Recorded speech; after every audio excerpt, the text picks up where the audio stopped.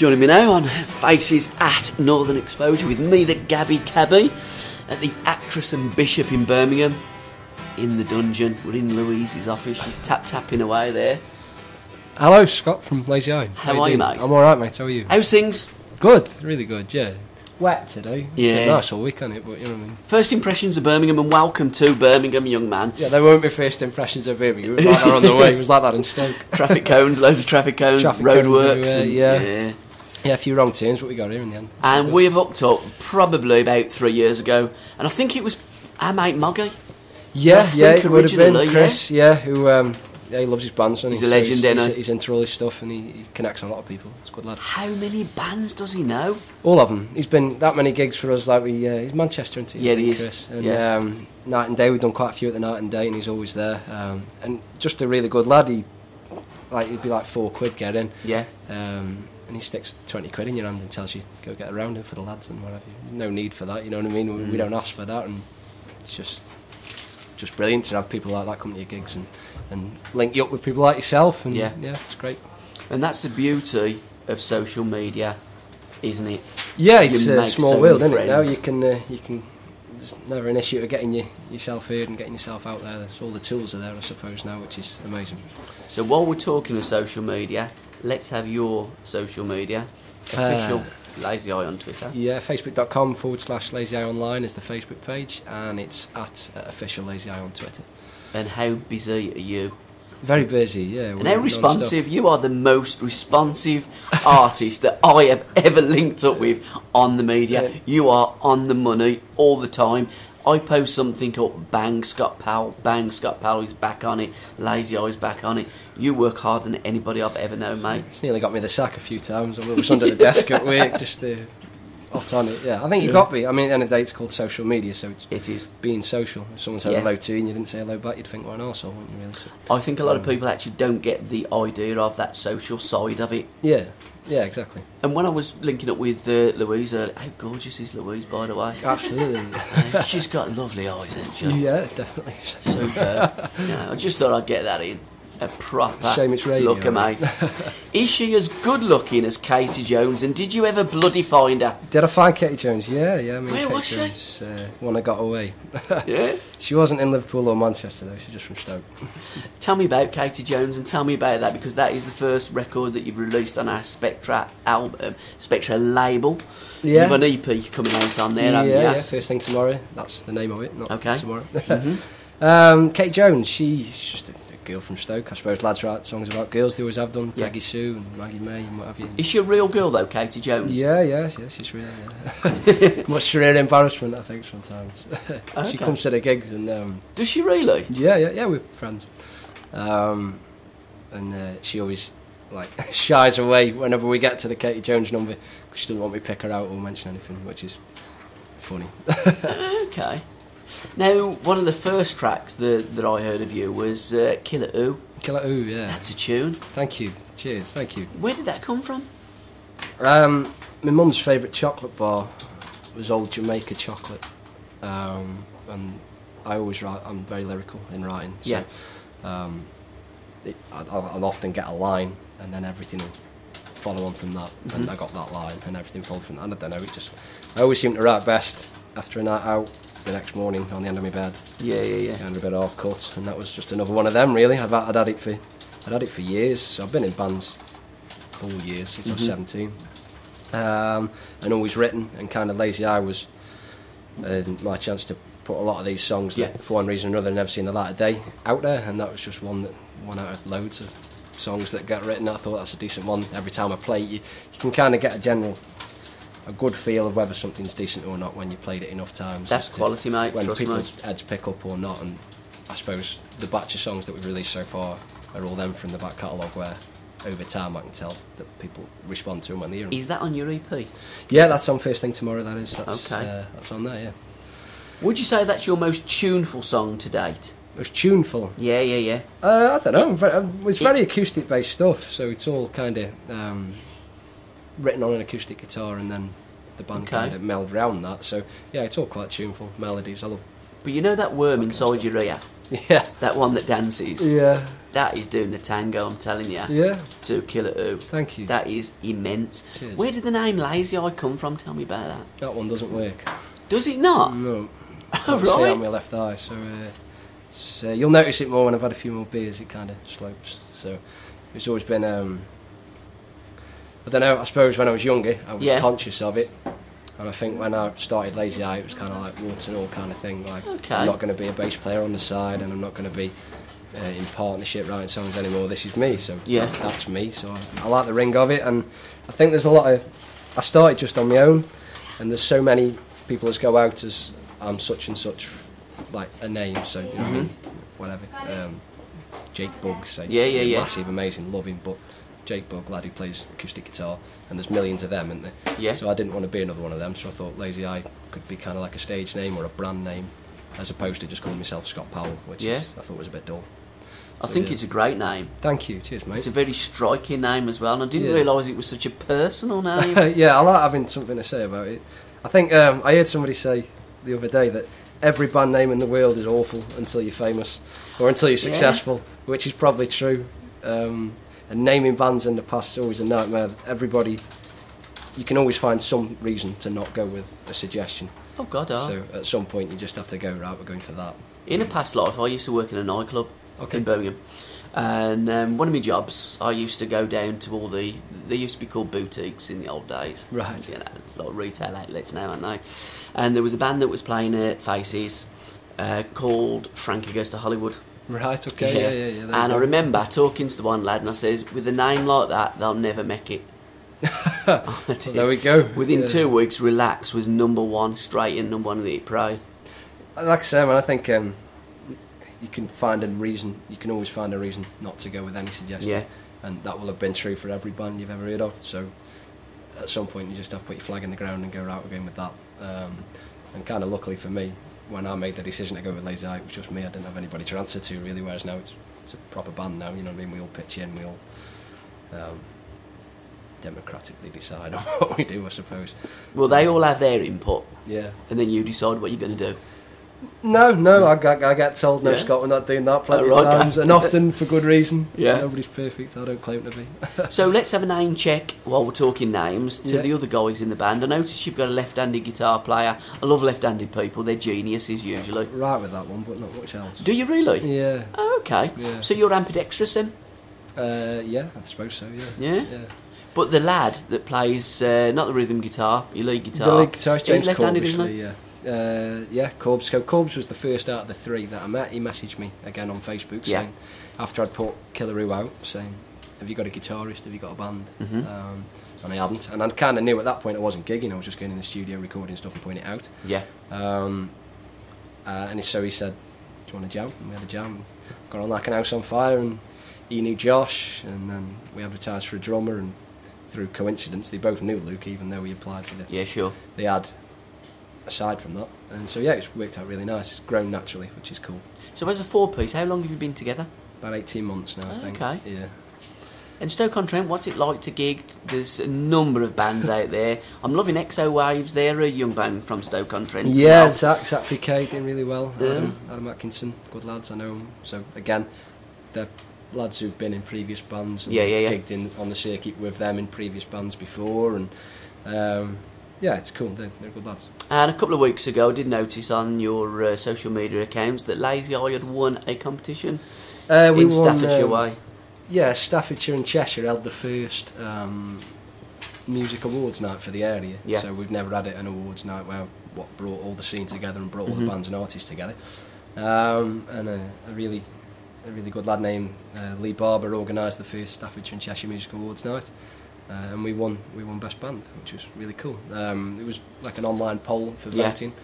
Um, so again, social media, like I say, it's really good to see a lot of people who we've met and, and gigged with um, over the years hmm come out and support us by voting for us. And yeah, we won we won best band, which was great, really cool. But Stoke must have been a decent kind of area, really, because just north of Stoke, you've got Manchester. Yeah, and Manchester is a massively kicking indie type of, of, of city, if you like.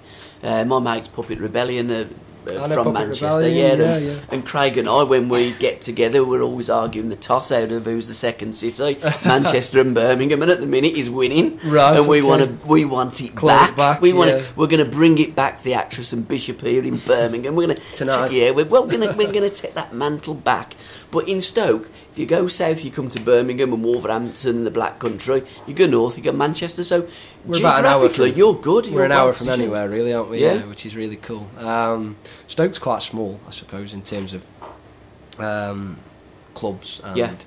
um, not support and not a love for music. People, people in Stoke really love love the music. Mhm. Um, Promotion-wise, in Stoke's a nightmare. Um, In so what way?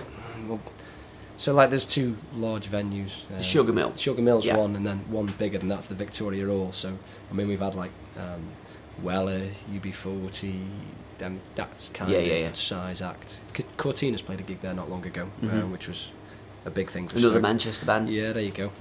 Um, so we're just we're just that too small a city to attract.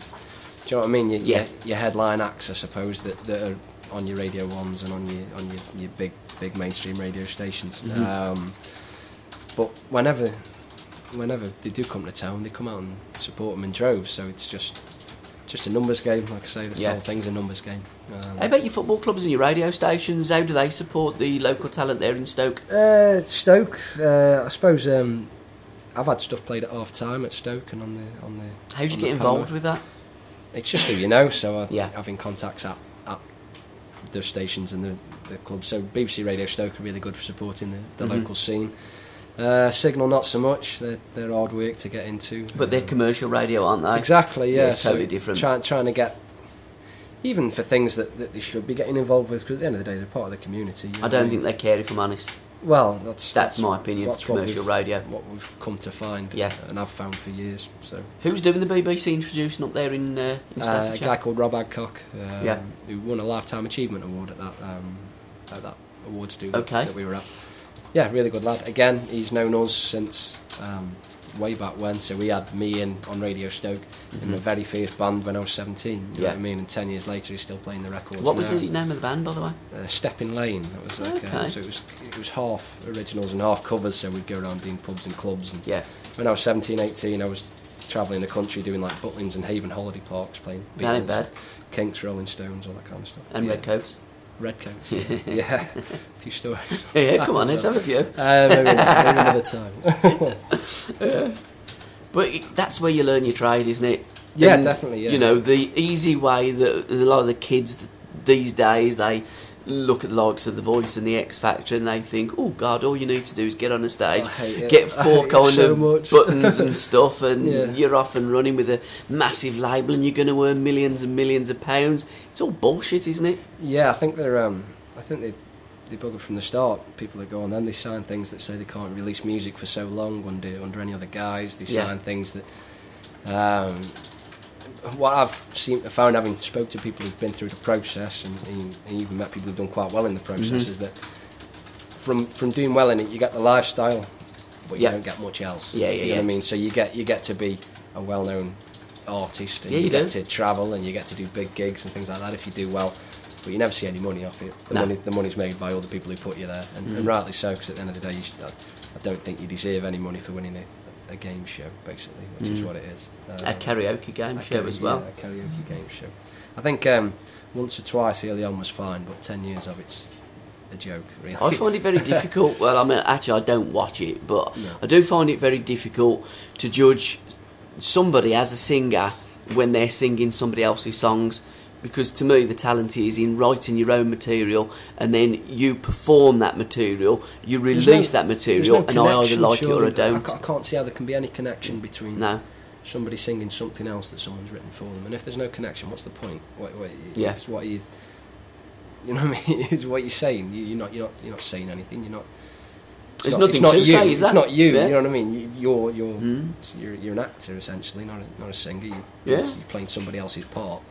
Um, but uh, it's all opinions. At the end of the day, they, they still sell out massive arenas and things. So yeah, because they get the media behind them and they tell them that they're playing there, and It's almost a kind of indoctrination and a brainwashing of people to like and the, love the big and saddening, support the big saddening thing of it is so much time and money and resources and, and airspace and all the rest of it Correct. go t- to that Yeah. when there's so there's so much talent out there that that work ridiculously hard and have done for years Tell and me years and years um, that that don't see the light of day. And Yeah. they, they're writing just as good as stuff. Better. they, they, they do, they're doing it themselves Mm. you know what I mean? They, they know the trade. They aren't, they aren't having to um, be coached through it. They've learned the trade through years of doing it. And and instead of people like that being given a chance um, it's easier for the labels and Yeah, the, it is. and the, the media says, well, to go, well, they're on telly on Saturday night for Mm. 20 million people, so we'll give them a record deal because they'll probably have a bit more coverage than this band from wherever. You know what I Yeah. mean? Um, so, in that sense, it's a shambles, really. Well, there we go.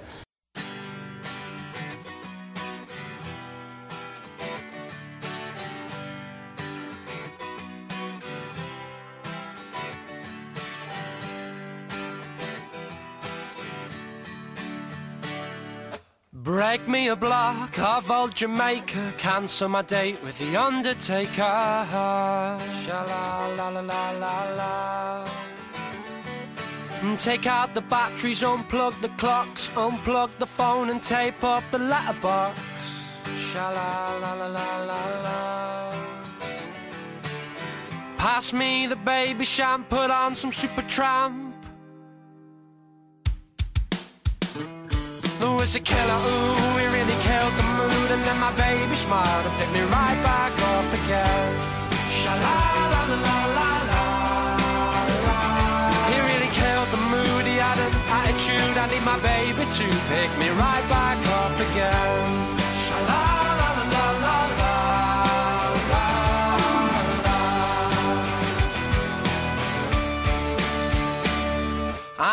Calling the dark up, he'll make it right. I'll do the jailhouse rocking here with you tonight.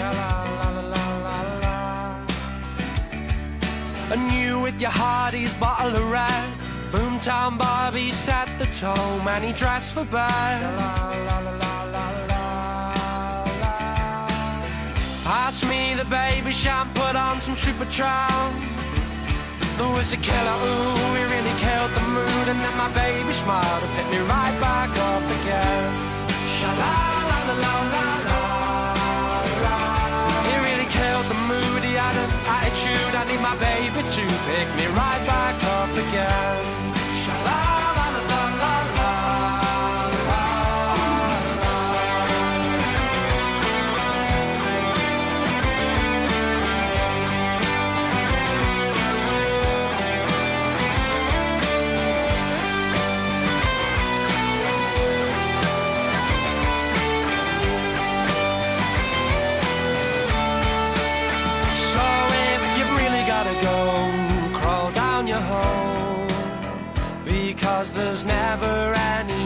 time than now.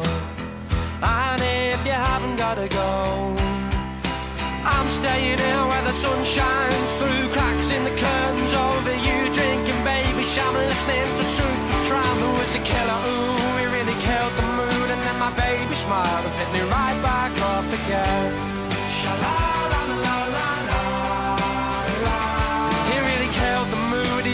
attitude. I need my baby to pick me right back up again.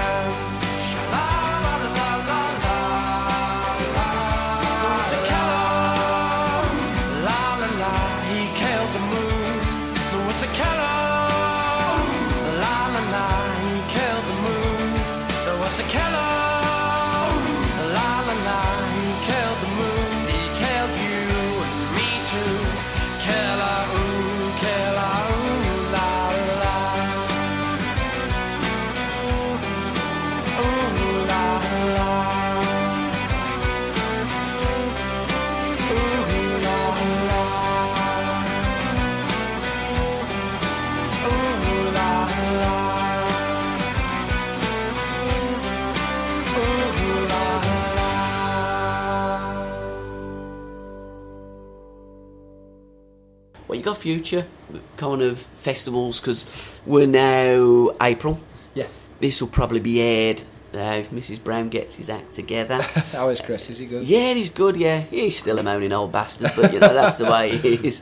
Mind you, he has something to moan about. He works with me, but probably within ten days. So we're almost into May. Yeah. and then really the festival season starts to kick down it into June, July, and yeah. August. Well, we're out every weekend now, so we're still weekend warriors. we're still we still work jobs. Yeah. You know what I mean? So two lads are tradesmen and.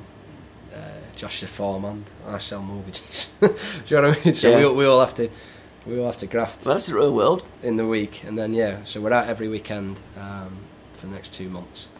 Um, we've got a good gig with the Bluetones next weekend. That's a local Tell me about it. That's just a really good one. We're really looking forward to it. Um, we played with Mark Morris from the Bluetones last year in Stoke. Um, You've got to say, Mark's him. here at the actress and Bishop. I've seen. Louise, what's the date that Mark's on? We've we got Mark Morris from the Bluetones? Yeah, because um, Lazy Eye are with him uh, next week, 10th of June. 10th of June. Are you here again? No Markies. Oh. No, we're playing with the Bluetones Yeah. on um, right, Friday. Week So today. make sure you Today. talk up, talk up. you know, talk up this place, actress and Bishop. Absolutely, yeah. Mark. Great. Because the Bluetones are doing some great stuff as well, ain't they? Don't know.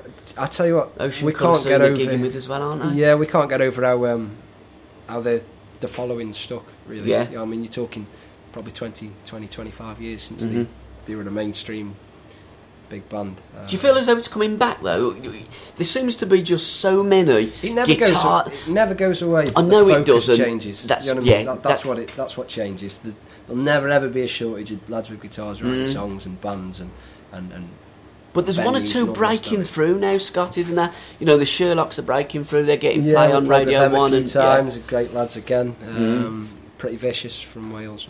Yeah. absolutely brilliant lads. Um, we've met them once this year, and we're not gig with them yet. But just there'll never be a shortage of it. And I think it comes in cycles. What Yeah, it it is is people. Kids don't want to be associated with whatever the mum and dad listen to. Mm. So, so like if your mum and dad are right, so playing, blame me then. no, Blame no, no, no, no, no, it's just a cycle, so it comes back round. So, Yeah. so any 15, 16 year olds now don't want to be associated with whatever the mum and dad were listening to Yeah. 10 years ago. Um, so they look for something else and something new. And if the new, fresh thing is guitar bands, then it comes back. Yeah. So you, you, you just have to bide your time and, and hope you, you hit the right point and the right sound at the right time. Well, you hit all the notes because I think you're absolutely fantastic. Cheers. And have you got Thank any festivals lined up? Yeah, so we got um, Limelight Festival, we're headlining that. Uh, that's first bank holiday weekend in May. Where's that at? Uh, that's in Newcastle, um, Stoke, Newcastle. Yeah. Uh, Under-Lyme. Yeah, Under-Lyme, that's us. Uh, du- du- du- yeah, we've got a few. Smithfield Road in Liverpool, uh, Rock and Bowl in Market Drayton, we've got that, that's a good one. Um, all our applications are in, we're just waiting for way back off quite a few. Um, Mhm. But yeah, uh, Osage Music Fest, on at that. So yeah, we're trying to be as busy as we can. Yeah. Again, it's that um, thing of when it's just you. There's only so much you can do. So I mean, I've sat and I must have sent 300 emails off in Yeah. January, February, March, um, and you just do as much as you can, really, as much what comes in. Who cut your video, by the way, Case Jones? Great video. Uh, Luca, Luca from Manchester. Um, he's a, I think he was a student when I met him, um, Mhm. and he's now got a, a company called People Staring. He makes Okay. he makes videos for all sorts of different things, um, and he's done quite a few for me. Um, Heartbeat Now, an early Trunk single that we had, he did a video for that. Get Get Get, he did a video for that for us. He's just a really sound lad. He always gets. I always go to him with an idea saying, "Look, this is what we're looking to do," and he always gets it, and um, for a decent price as well, Wow. which is important. Competitive. Competitive. Mind yeah. you, with Katie Jones, Bird, Train, London, Manchester, and Liverpool. Yeah. One hard to work out a video for that, was no, it, it Scott? wasn't. In fact, if we'd had a bigger budget, we could have done a better one. But there we go. Can I thank you, young man, for your time? Thank you for playing us and for, for all your help and, and everything that you do for us, mate. It's Well, really you know us, we absolutely love it. You know, we, we love the artists. Thank you. It annoys me that you don't get more airplay, but I think together we all can make a difference, and I think that's what we need to do. We need to join together. We're creating a scene, and I think with Northern Exposure and SRB Radio, things are happening. I feel as though this underground movement is going to go overground, and we're going to take our music back, give the music back to the people. Are you shouts loudest gets heard? I think is the, uh, Hopefully. best, best way to sum it Well. I've got a big gob. Me too. Sometimes.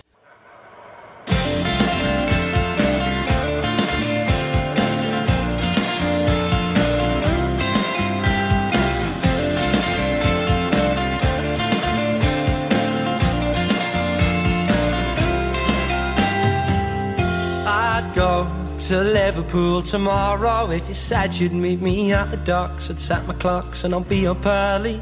I'll catch a train, I'll sleep against a window pane tomorrow. Or tomorrow I'll be gone. And I'd go to Manchester tomorrow. If you'd meet me in the Trafford Centre, I'll be there in plenty of time. Oh, I, you'll be mine tomorrow. Or tomorrow you'll be mine. Ovations. I'd settle for a little reciprocation. Katie Jones, will you tell me why you knock me back each time I try to entertain you? And I just want to take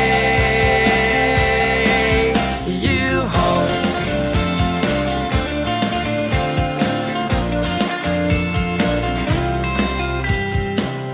I'd go to London tomorrow if you'd meet me in Trafalgar Square. I'll be there in plenty of time, and oh, I, you'll be mine tomorrow. Oh, tomorrow you'll be mine, and I don't want standing ovations. I'd settle for a little reciprocation. Katie Jones, won't you tell me why you knock me back each time I try to entertain you? And I just want to take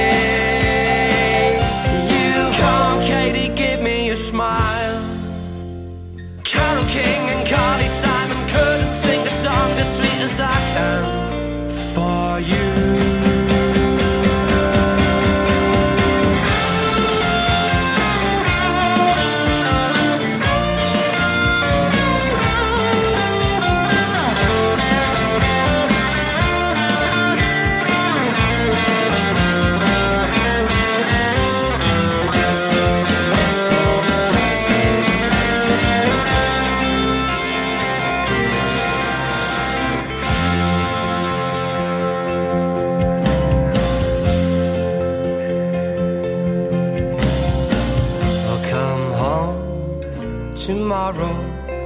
If I've got you on my arm, I'll take you to the place that I love as much as you, girl.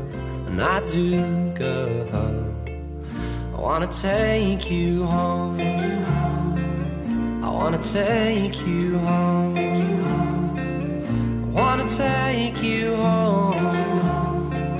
I wanna take you home. I wanna take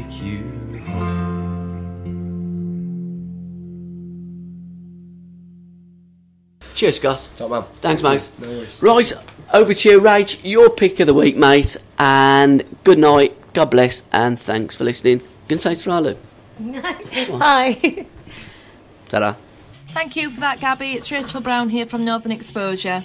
I've got two tracks for you this week. Winners of the All About the Music competition, The Haze, with Am I the Only One? And Sheffield based band Sabella with The Calling.